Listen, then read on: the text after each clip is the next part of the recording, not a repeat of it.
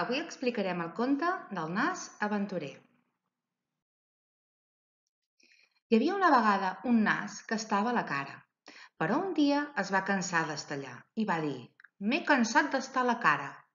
Soc molt amic dels ulls i de la boca, però vull veure què més hi ha al cos».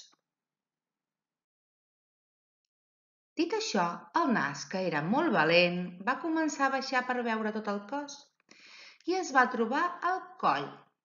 Allà s'hi va quedar una estoneta, però com s'avorria molt, va decidir baixant, va decidir baixar una miqueta més. Baixant, baixant, va trobar un lloc molt tubet, tubet, per acurrucar-se, per descansar una mica, però sentia molt de soroll a dintre. Què és això? On estic? va preguntar el nas. Soc la panxa, va respondre, i aquest soroll el faig jo. Ui, ui, ui, ui, ui, doncs marxaré d'aquí, panxa, que no puc descansar. Adéu, nas, adéu, panxa. El nas va arribar fins a les cames i va voler veure el genoll. Que divertit, reia el nas. Aquests genolls no paren de ballar. Amunt i avall, amunt i avall.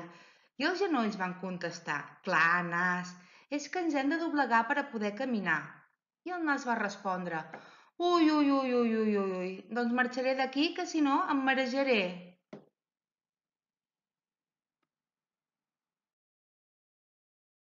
Finalment, el nas va arribar fins al peu, però estava tan cansat que ja havia baixat per tot el cos que no tenia forces per arribar altre cop a la cara però de sobte va sentir «Tranquil, nosaltres t'ajudarem!»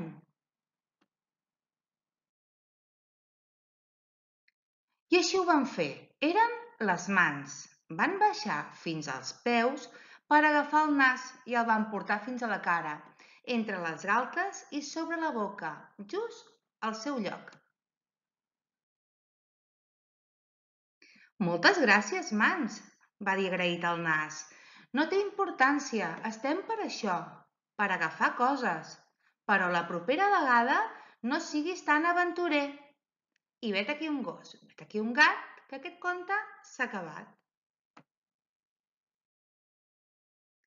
Molt bé, ara us explicarem una mica el vocabulari que ha sortit al conte de les parts del cos.